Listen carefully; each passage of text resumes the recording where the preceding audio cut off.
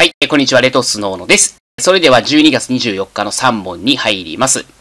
A が A の被用者 B の行為につき C に使用者責任を負う場合は C の B に対する損害賠償請求権が消滅事項にかかった場合 A は事項を援用することにより C に対する損害賠償義務が消滅する。丸か×かという問題です。え考えたい方は動画一旦ストップしていただいて、この動画の下の概要欄から問題文ご確認ください。で、答えは、え×ですね。A が使用者で B が被用者。え A が会社で B が従業員といったイメージですね。で、C が被害者という状況です。で、使用者責任が認められる場合、被用者と使用者の損害賠償責任は連帯債務の関係にあるんですね。つまり、被用者も使用者も被害者に対して全額の損害賠償義務を負うんですよ。で、たとえ一方が消滅事項にかかったとしても、それによって他方の債務は事項によって消滅はしません。つまり、C の B に対する損害賠償請求権、これが消滅したとしても、つまり B さんの債務がなくなったと、時効によってなくなったとしても、A さんの債務は時効によってなくなるってことはないんですね。つまり A は損害賠償義務消滅しないんですよ。従って誤りだということです。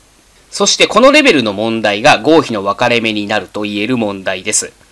えこのあたりをしっかり理解しておくと合格につながりますし、逆に理解できていないと類題で失点してしまって、不合格の仲間入りになってしまいます。なので、しっかり理解をしておきましょう。で、今回は無料なので、理解の仕方まではお伝えしていないんですけども、理解の仕方までぜひですね、頭に入れておきましょう。調べて頭に入れるってことまでやっておきましょう。で、個別指導については理解の仕方までお伝えしておりますので、受講者専用の、えメルマガから理解の仕方をご確認ください。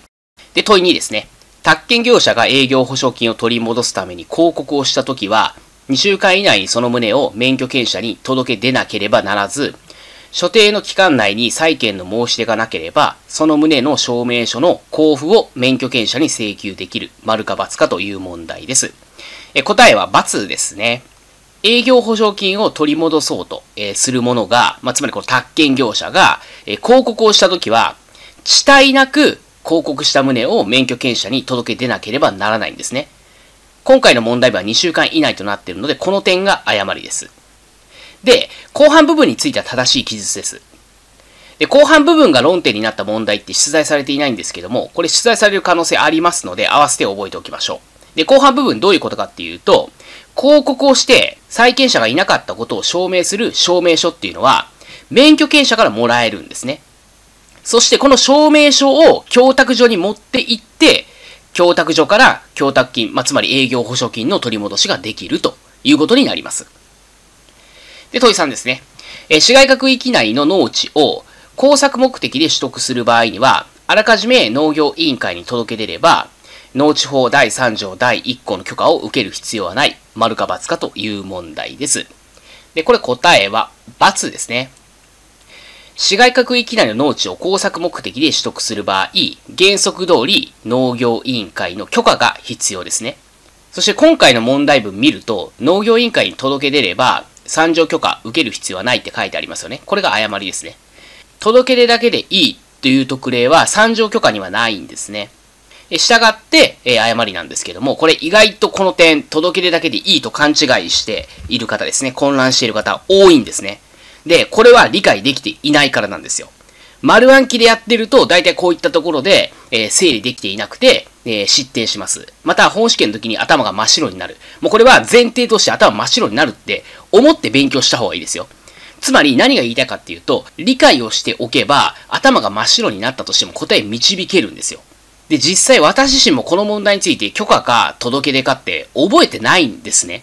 その場で答えを導いてるんですよ。で、これどういうことかっていうと、イメージとしては、20たす25っていうのは、これ45ですよね。これって、おそらく20たす25イコール45。これ答え覚えてるっていう人いないと思うんですよ。その場で答え導きましたよね。20たす25計算して答え45って導いてますよね。20たす25イコール45って覚えてる人ってほとんどいないと思います。これ数字変えましょうか。30たす25。これ55ですよね。これも今計算したんですよね。これ答えを導いたってことなんですよ。丸暗記っていうのは30たす25イコール55。20たす25イコール45って答えをこう覚える。これが丸暗記なんですよ。だからこういう人っていうのは、じゃあ20たす20はって言われたら、40ってこれ丸暗記で覚えていないから解けないんですよね。でもこれ足し算のやり方を知っていたら、20たす20は40ってこれ答え導けるし、10たす10も20って答え導けますよね。これが理解学習なんですよ。こういう風に答えを導くっていうことをやっていくことが重要なんですね。個別指導ではこんなことを教えてるんですよ。だから今回の問題についても、答えを導くやり方をすれば、許可か届け出かってこれ覚えていなかったとしても、答え導けちゃうんですよね。だから私はこれ覚えてないんですよ。許可か届け出かなんかは。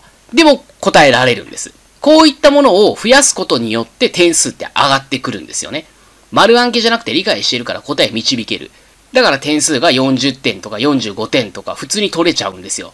問題が変わったとしてもそのぐらいの点数って取れちゃうんですよね。でそういう風な勉強の仕方をするってことがやっぱすごく必要なんですね。ただいつもお伝えしている通り、無料の動画ではそこまではお伝えしておりませんので、その点は個別指導でお伝えする流れになります。